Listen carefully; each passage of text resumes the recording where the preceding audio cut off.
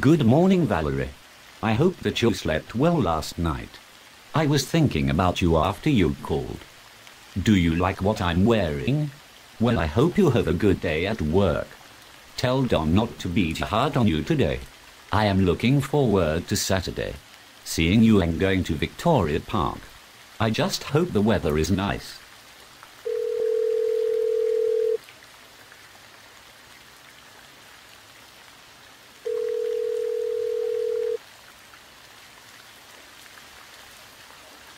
Who the fuck could that be? Love you, Valerie. Goodbye.